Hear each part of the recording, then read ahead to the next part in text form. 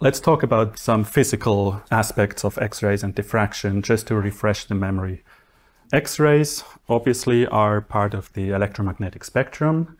They are shorter wavelength than visual and UV light, and by definition, we call the, the range from 0.01 to 10 nanometers X-rays, or in terms of energy, that would be 100 electron volt to 100 kilo electron volts.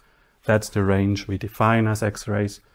Um, sometimes the, the, distinction to gamma rays, which are even lower wavelength radiation, is not so clear. Sometimes they call X-rays up to one mega electron volt, but that's just a common definition of X-rays. And this is important. Um, X-ray diffraction is an interference phenomenon. We will learn that in a minute. It's uh, interference of, of X-rays and um, the interatomic distances in crystalline structures are in the same range of the wavelength typically. So typically between 0.15 and 0.4 nanometers. And this is important uh, to generate interference. The, the phenomenon that generates the interference must be roughly in the same range as the wavelength. Otherwise, we would not get a distinct interference pattern. So we cannot do X-ray diffraction or diffraction with, for example, visible light because the wavelength is much longer than, than the interatomic distances. So we would not get a nice diffraction pattern. That is the reason why we use X-rays for, for XRD. So how can we generate X-rays? We use a cathode ray tube for that, and you can see a schematic of such a tube here on the left, and on the right-hand side a picture of a real tube.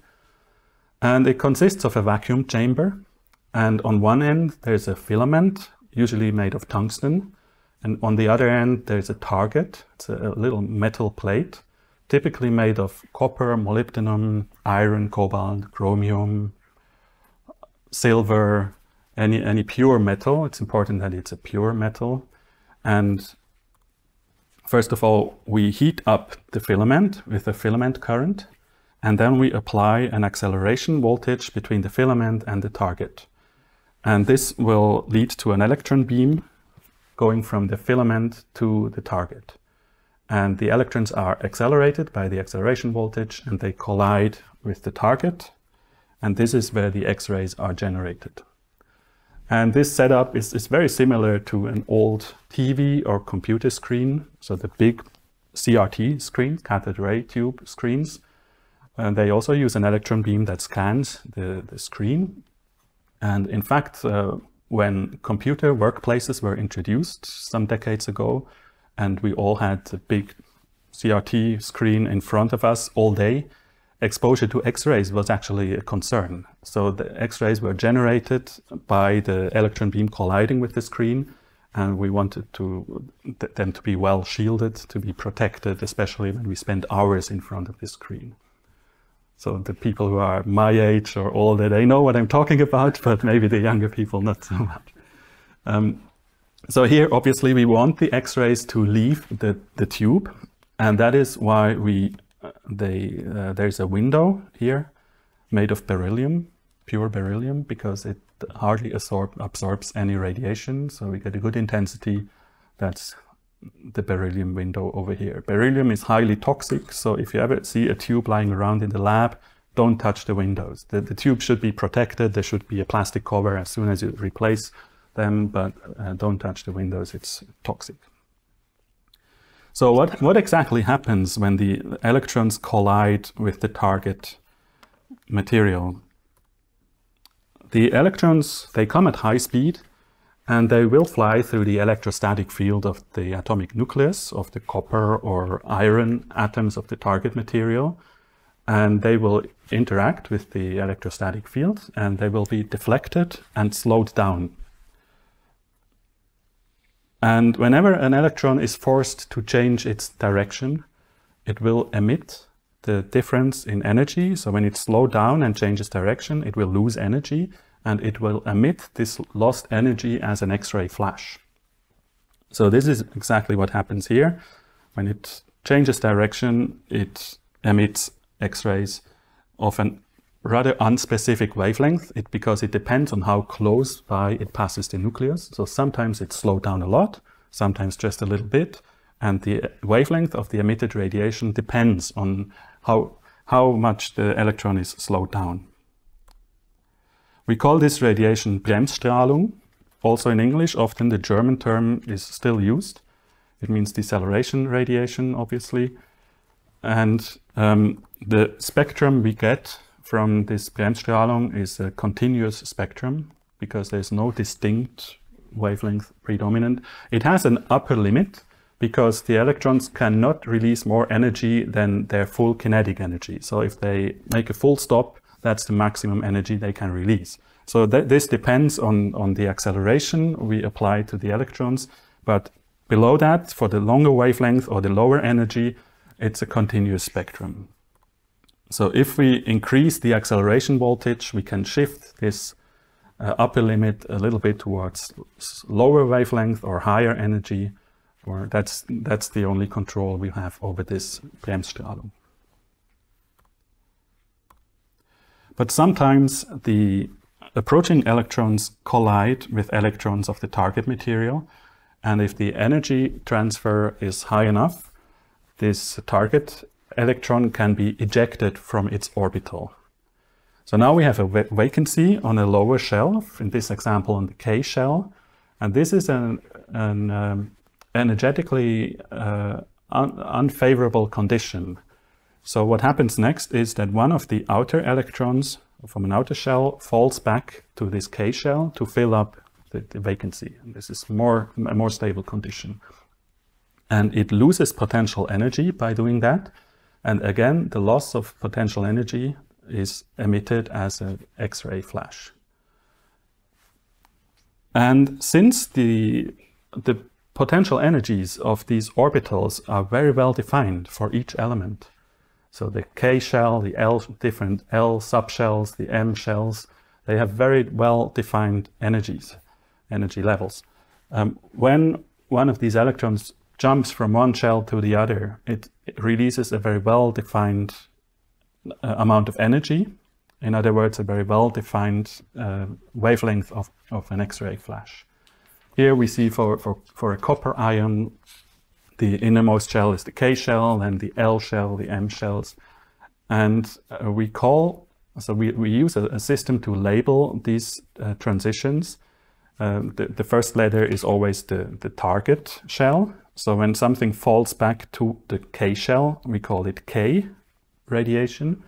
And then it depends on where it comes from. If it comes from one shell above, for example, from the L shell, then we call it K alpha. And depending on the subshells, we add an, another index, K alpha 1 or K alpha 2. And it jumps from, uh, from the next higher, from the M shell down to the K shell. We call it a K beta transition. So that's the naming scheme we use for this. And since all these transitions are very well defined, we also get a set of very well defined radiations on top of the Bremsstrahlung. So the typical spectrum we get from, a, from an X-ray tube looks something like this. We have the diffuse, the continuous uh, background of Bremsstrahlung, and on top of that we have these very well defined characteristic emission lines. And uh, because these, the wavelengths of these lines is specific or characteristic for a certain element, we call this the characteristic radiation. And here you can see the, the positions of the copper K alpha, K, K alpha 1, K alpha 2, K beta lines. And I can also show for another element, for molybdenum, the same lines. So they, they will be at a different wavelength.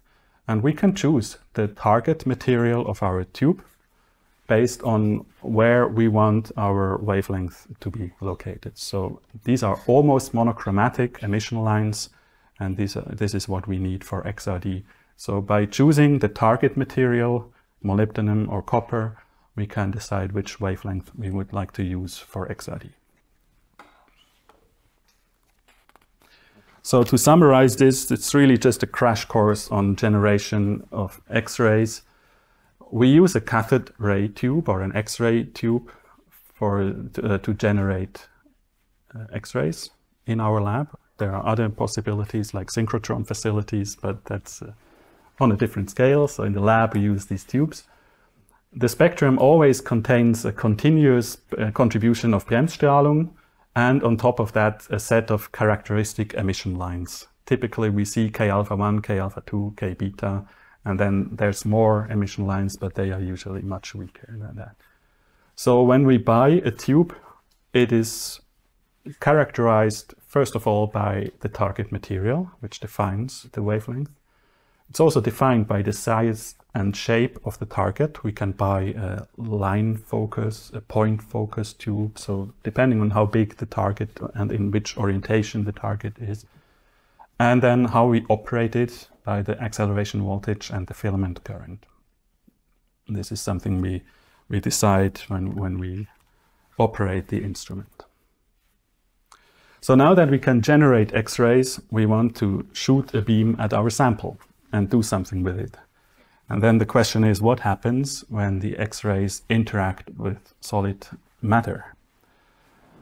And one aspect, one phenomenon we will observe is absorption. So what happens is there is our X-ray beam arriving at the sample. It interacts with, with the, the electrons of, of the sample material and the X-ray will, will be absorbed and there will be energy transfer to the electrons and it will heat up the sample a little bit. It's not much, it's just, just a little bit on a lab instrument. So it's a complete energy transfer to the sample. Another effect that will occur is the photoelectric effect. What happens is that the energy is again transferred to the electrons of the sample and now something familiar happens. If the energy transfer is large enough, it may kick out this electron from its orbital. That's exactly what happened before from the, from the electron beam. And now we end up with the same unstable situation of a vacancy on an inner shell that is compensated or relaxed by an outer electron falling back to the inner shell to fill the vacancy. And again, it will release characteristic radiation. It's exactly the same effect as what we saw before, with the only difference that the, the primary um, beam here is, is an X-ray beam, and before that it was an electron beam.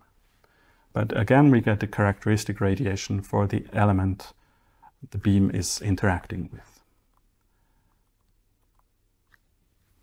And the third effect is called elastic scattering.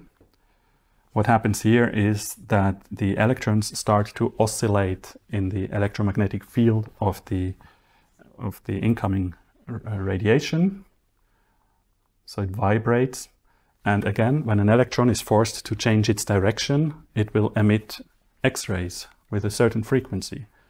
And um, what we see here is a secondary uh, X-ray beam emitted by this electron that is vibrating. And because the um, the frequency of the oscillation is given by the incoming radiation, the outgoing radiation, the secondary beam, will have the same frequency and thus the same wavelength as the primary beam. And all three phenomena are useful for material scientists. The absorption is analyzed in X-ray absorption spectroscopy, like EXAFS or XANES, for example. The fluorescent radiation from the photoelectric effect is analyzed by X-ray fluorescence. It tells us what elements are in the sample by analyzing the characteristic radiation for these elements. And X-ray diffraction is based on elastic scattering. So this is what we are interested in, the elastic scattering. And it is important that there is, it's the same wavelength as the incoming radiation, and there's also a phase relationship between the primary and the secondary radiation. That's important to get a clear, distinct interference pattern. So in a crystal structure, by definition, a crystal structure is a periodic arrangement of ions, atoms, or molecules in three dimensions. So here that's just two dimensions, but it's a an example for a hypothetical crystal. So now if we irradiate this crystal with X-rays, each atom will become a source of secondary radiation with the same wavelength as the incoming radiation. And all these spherical waves that are emitted more or less undirected, not completely undirected, but more or less in a random direction. They will overlap and we will start to see an interference of these different uh, secondary waves. So what does it mean?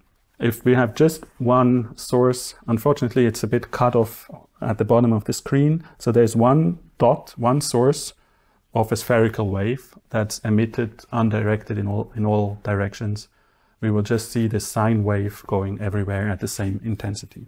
As soon as we add a second source in a close proximity, roughly one wavelength apart from this first source, we will start to see the interference pattern of the two emitted waves. And obviously we get directions uh, with an amplification, with a strong amplitude of the resulting wave and other directions with no amplitude, so extinction. And I already mentioned it, what happens here in the green directions, um, the the waves are aligned so that they overlap in a, in a positive manner. The amplitudes add up and we get a stronger amplitude as a result. That's positive or con constructive interference. And in the red directions, they are phase shifted. So the amplitudes cancel out and we get destructive or negative interference. When we add more sources Instead of just these two, now we can see them at the bottom of the screen. If we add more, the pattern changes as follows. So these are four sources, eight in a row. Now it's cut off again. 12, 25, and 50 sources. So now if you would see it at the bottom of the screen, it would be like a, like a pearl necklace, just 50 dots in a row in the same distance, emitting the same kind of spherical or here circular wave. And what, what remains is one direction with positive interference and in all other directions there's destructive interference so the, the secondary waves cancel out. Um, if we would change the, the phase from one dot, from one point source to the other, what would happen is that the, this, the direction of this beam would change. So it would bend either to the right or to the left. That's what the phase would contribute to this pattern. Now this is only a one-dimensional crystal. And now at this point we will skip a whole lot of mathematics and immediately uh, jump to, to the simplified version of what happens in a three-dimensional crystal.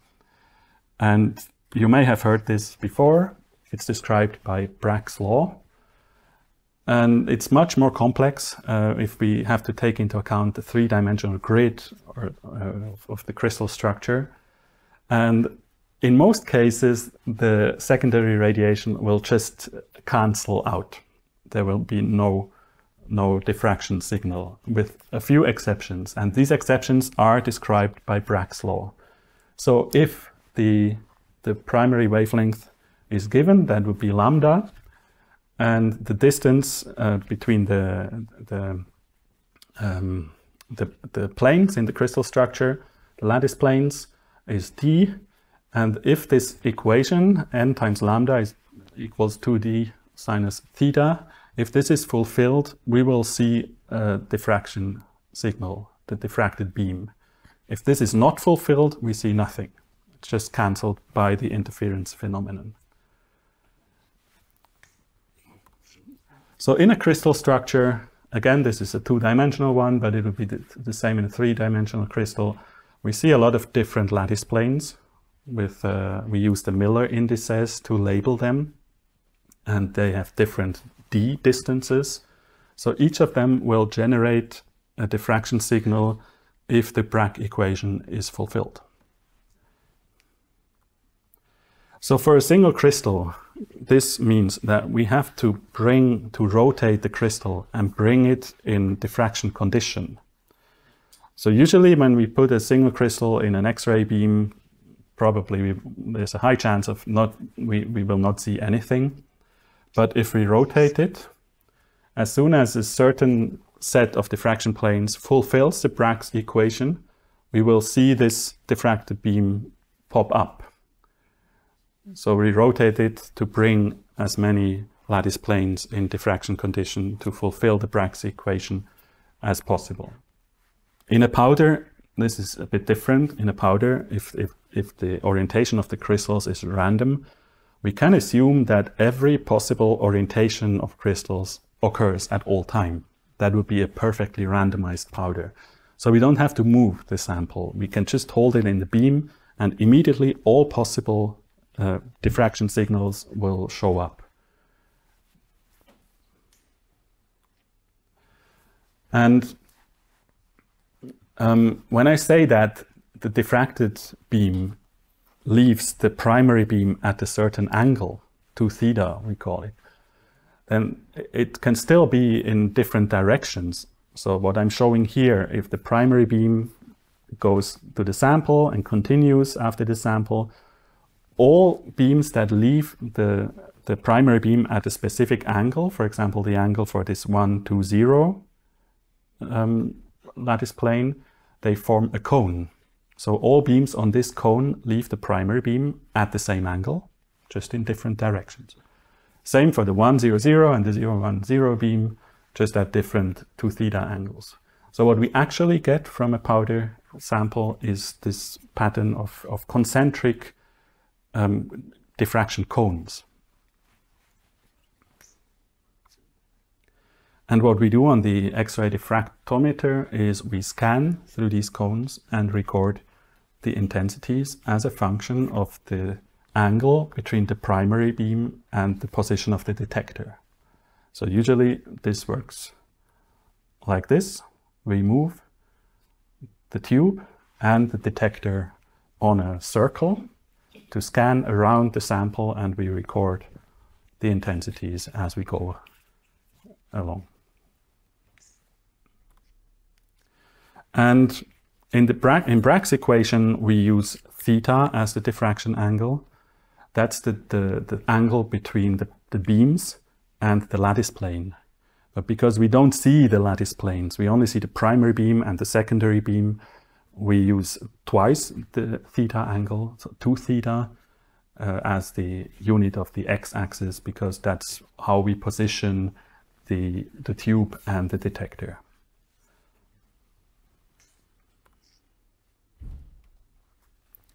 One important aspect of this diffraction phenomenon is that if we take a close look at Bragg's equation again, we see that if we change lambda, the wavelength, but we keep the d value, the lattice plane spacing constant, the diffraction angle will change. So what this means is that if we start with a polychromatic beam with different lambda wavelength, the diffraction phenomenon will act, will, will basically split up the different wavelengths and diffract them at different angles. Different lambdas lead to different diffraction angles from the same lattice plane with a spacing d. So basically it acts like an optical prism which also um, separates the um, different wavelengths of a white beam into different uh, refraction angles. And what this means, if we go back to our radiation spectrum, we, we don't have monochromatic radiation. We have this Bremsstrahlung, very diffuse, but also not very high in intensity. But then also this set of three very well-defined, uh, almost or nearly monochromatic emission lines, K alpha 1, K alpha 2, and K beta. These are different wavelengths, so they will diffract at different angles. And this is also what we see in the diffraction pattern from just one lattice plane set. Here in this example, it's the 014 lattice planes of corundum, aluminum oxide, aluminum oxide. Um, we see all these additional peaks. So not just one diffraction peak, although we just had one narrow beam diffracting with the, with the sample, but we see K alpha 1 diffracting at a different angle than K alpha 2, K beta, and also some additional contamination lines from my tube because it's getting a bit old and it's showing some tungsten uh, uh, tungsten uh, emission lines also uh, with different wavelengths and they diffract at, at different angles. So if we don't use any filters, that's the signal we would get.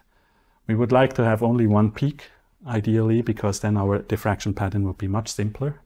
But we, because we don't use strictly monochromatic radiation, we get this whole set of peaks for every lattice plane spacing.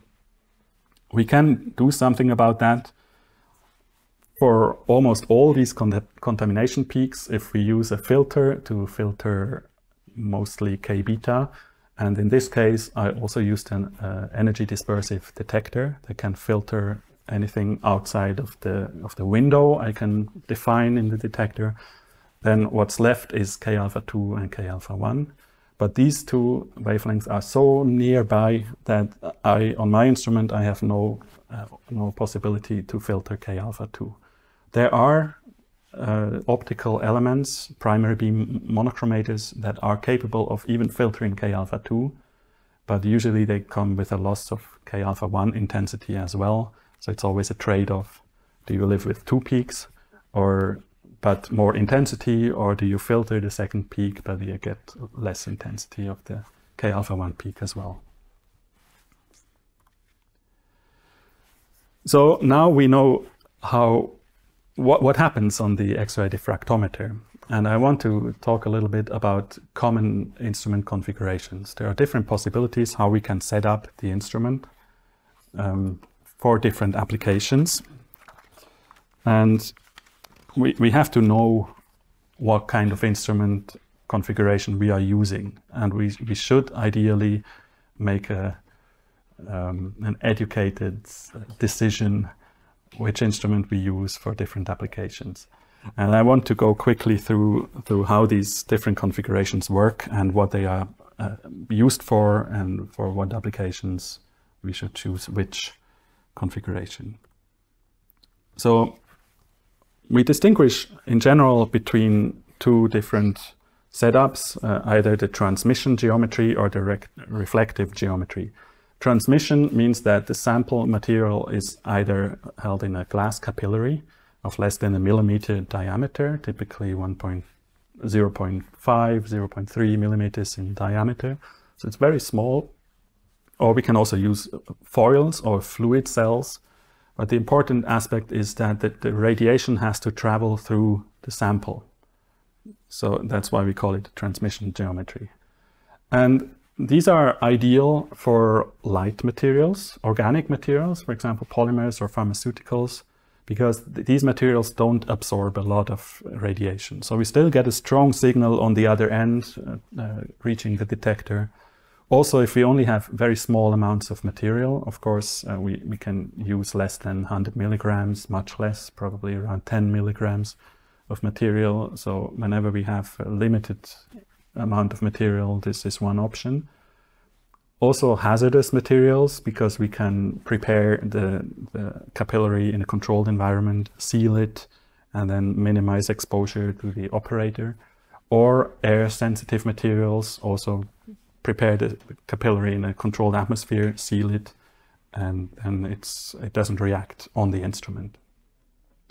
In this case, we also should choose uh, which kind of radiation we, we use. Uh, typically, we, we don't want much of the radiation to be absorbed by the sample because we would just get less intensity on, on, at the detector. So we would use something with a short wavelength, harder radiation, like molybdenum K-alpha radiation, which is much, it's about half the wavelength of copper or, or uh, cobalt or chromium radiation and is absorbed much, much less by the sample than the longer wavelength radiation. So this would be ideal for transmission geometry instruments. On the other hand, reflective geometry is what we typically use for highly absorbing materials, ceramics, metals, minerals. Um, in this case, we get a diffraction signal from the surface layers. The surface maybe a few micrometer, 100 micrometers of the, at the surface of the sample.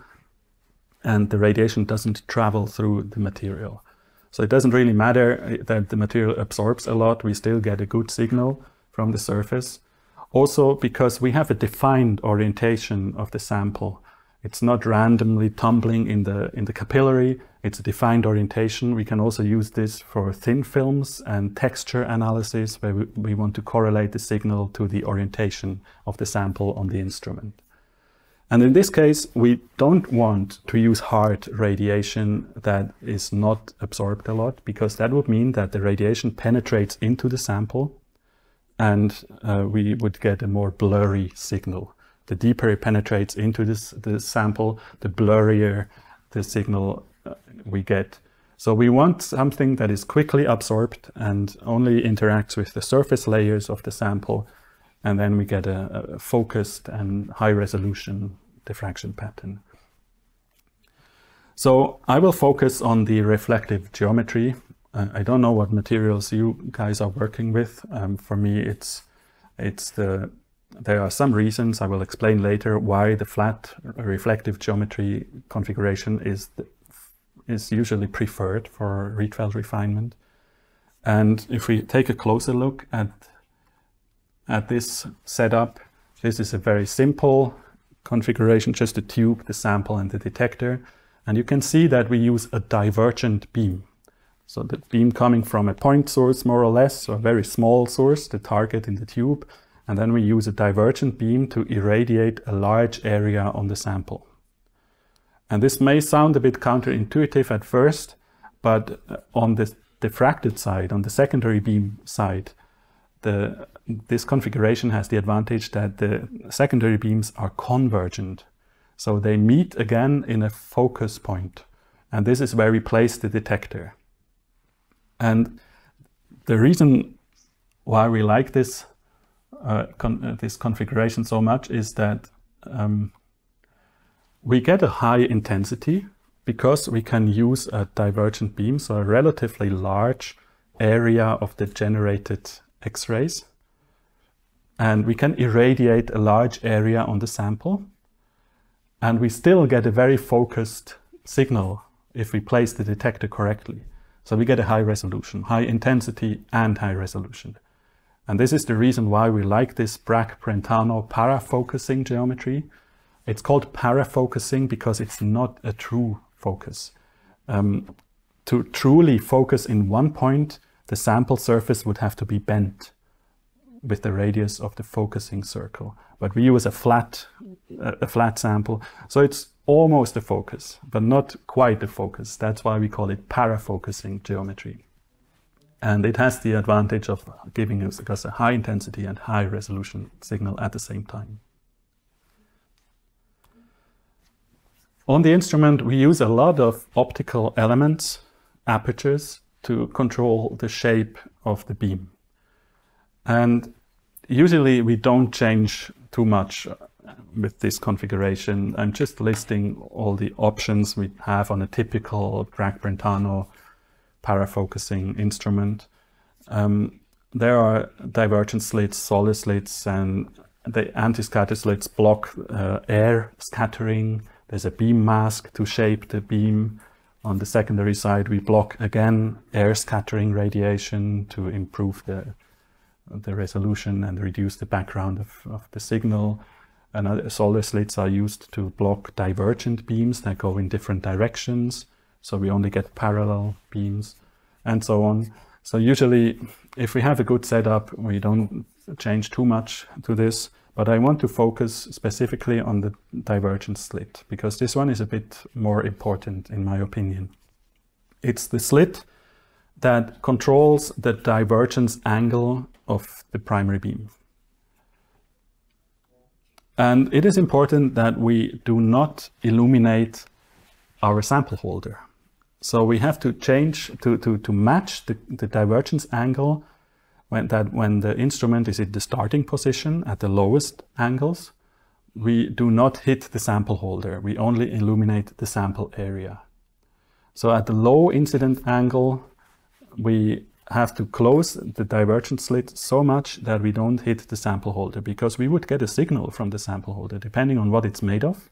If it's alumina, we would, or so AlOx, uh, some, some oxidized alum aluminum at the surface, we would get such a signal.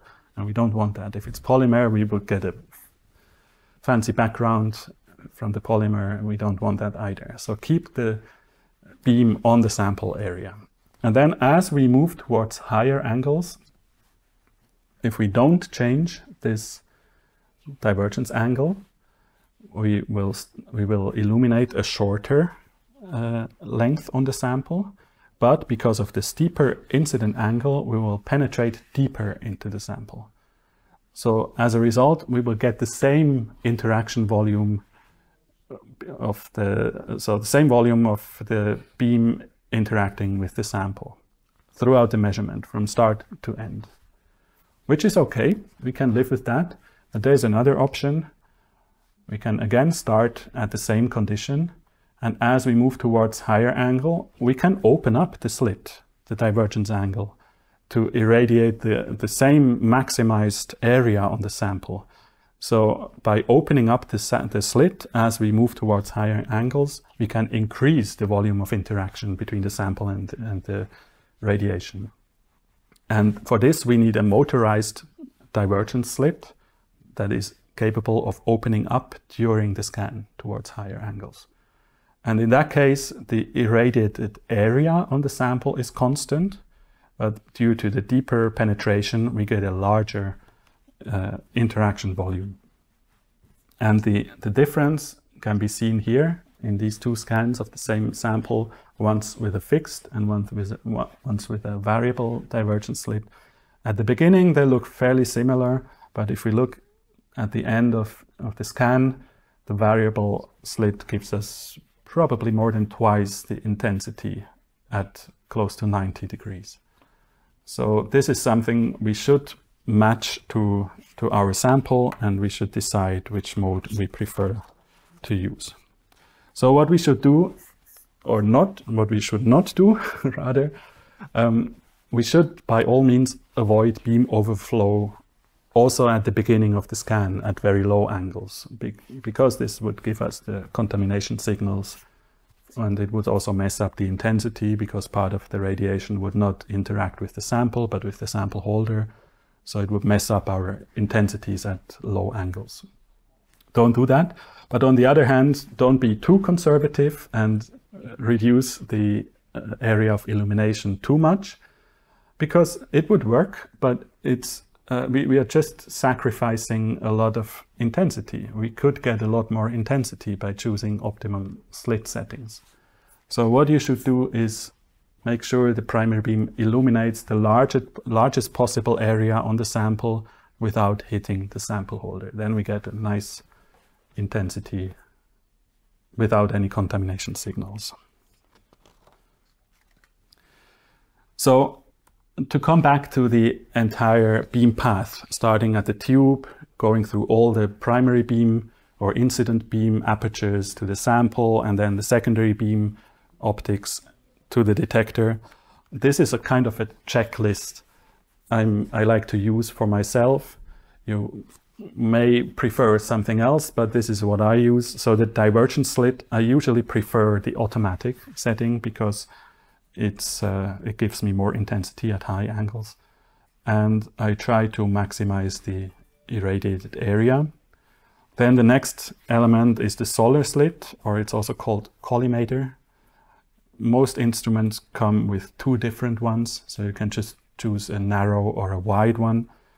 And I prefer to use the, the narrow one, the small opening. Um, it gives me a bit better angular resolution, especially at low peaks. At low angles, the, the peak shape will be a bit more symmetric. But again, at the cost of, of uh, intensity. Then some instruments have a beam mask, that controls the width of the beam. My instrument doesn't, but if you have one, also make sure that uh, your beam doesn't hit the sample holder, but otherwise use it as wide as possible. Then there is an anti-scatter slit that it should only block air scattered radiation. So it should not really block the, the primary beam. So usually I set it to the same value as the divergence slit. So it really doesn't, it's just a second divergence slit that blocks any additional scattered radiation. The sample itself, I'll, I'll let it spin around the vertical axis We will talk about this later on, why this can be important. And then on the secondary beam path, diffracted beam path, it's basically the same. Um, anti-scatter slit I set to wide open so it doesn't block my detector. It's a linear detector. Soller slit I use the same as on the primary beam side. I have some additional slots for potential filters and slits. They are empty, I'm not using them. But I'm using a K-beta filter because even though I have an a, a energy dispersive detector, it's not sufficient to suppress K-beta entirely. So I use an additional K-beta foil, filter foil, the nickel filter in the beam path. And then the linear detector I'm using, I, I use it at the maximum opening to get the best intensity. So this is just something you can go through your instrument from the left to the right and check that all the settings, all the apertures make sense for your specific application. This is just my preference, but um, that's what you should do to make sure that you are using a good configuration. Again, a summary of different um, instrument configurations. As I already mentioned, this simple and very common Bragg-Brentano parafocusing geometry is really what we should use for Rietveld refinement.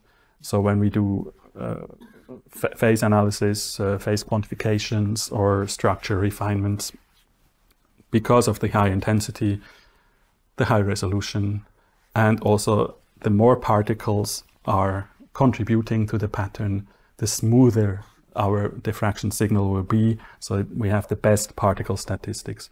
On the downside, uh, it, we need a lot of material, typically around one gram for ceramics or minerals, to fill the sample holder, which is not always available. But that, that would be the only downside I, I can think of for most applications. Some users use a, a, parallel beam geometry that's almost the same, except that there is a, a focusing mirror in the primary beam that turns the divergent beam into a parallel beam. And it sounds very tempting because it focuses the beam on a smaller spot, but for most applications, this is not good because it's no longer parafocusing. You can see on the secondary beam side at the detector, it's still parallel. So we get a much more diffuse signal from this, even though we can focus the beam on the sample. So for general Rietveld refinement, it's usually not preferred. There are other applications that require a parallel beam, for example, grazing incident angle XRD, which is a surface layer characterization technique. So that one works better with a focusing mirror. But for just phase analysis, structure analysis, it's usually a, a worse choice than the very simple parafocusing geometry. Also the, the mirror may be helpful for for capillary setups because it we have a problem with a divergent beam. If we if we use a divergent beam for capillary setups that the capillary is so small that hardly any ra radiation actually hits the capillary so we get a very very low intensity unless we use a focusing mirror and focus more radiation on the capillary and then because the capillary is so thin, the, the secondary beam is also, even though it's parallel, it's also fairly thin and we still get a reasonable resolution. So this is what, what I usually recommend, unless you have a good reason to use something else. In past Profex workshops, I went into a lot more detail on the different effects when we when we change the settings of, of the Soller slits and the and the anti-scatter slits and whatnot. And these slides, so you can see on some examples there, there's always a comparison like here, what the effect of certain changes to the optical configuration actually do in the diffraction pattern. So I thought it would be a bit too much for this course. So I, I did not include that many details. But the slides are still available. If you go to the Profex website on the page lecture handouts, for example, I could recommend the one from 2017, lesson two, diffractometers. That's what I showed on the previous slide. And then if you want to know more, does it really help if I change whatever the the, the Soller slits, how, how does it affect the resolution? You will see examples on these old slides.